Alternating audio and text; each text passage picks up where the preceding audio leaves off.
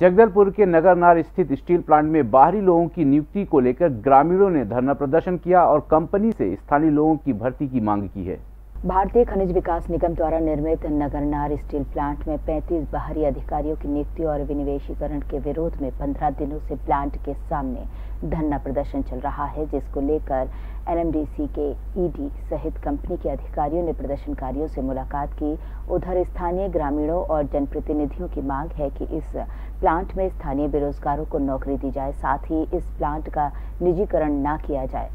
विधायक रेख चंद्र जैन ने कहा कि अगर जन भावनाओं के विपरीत एनएमडीसी प्रबंधन या केंद्र सरकार ने अपना रवैया नहीं बदला तो हालात बिगड़ सकते हैं। इस दौरान अधिकारियों ने आंदोलनकारियों को आश्वासन दिया कि वे उनकी बातों को हायर अथॉरिटी एवं केंद्र सरकार को अवगत कराएँगे।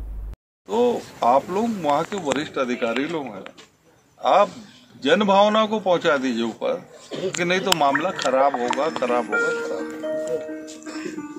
आपसे हमारा कोई व्यक्तिगत राग द्वेष नहीं हमारा मामला इसी बात का है कि कोई प्लांट बनकर तैयार नहीं हुआ स्टार्ट नहीं हुआ प्रॉफिट लॉस नहीं आया, ये कौन सा गवर्नमेंट है जो डीमर्जर प्राइवेटाइजेशन ऐसा बात करता है?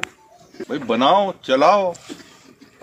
घाटे में जाएगा उपक्रम तब बेचना और जो करना है तुमको करना यहाँ के लोगों ने किस परिस्थिति में ज़मीन दी ये लोग जान रहे हैं। उसके बाद आज हमारी कारखाना आज बन के तैयार हो गई।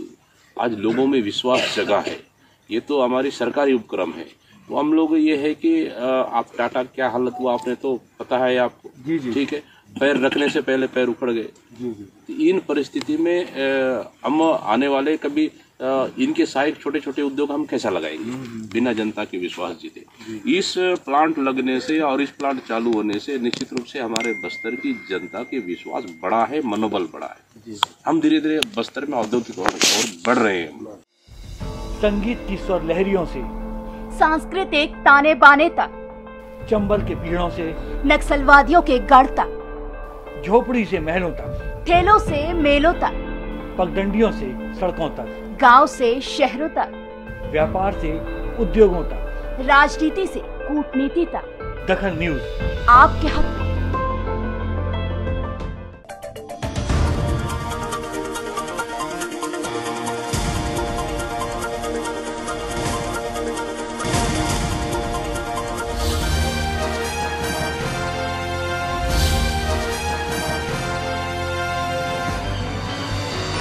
आप देख रहे हैं दखल न्यूज़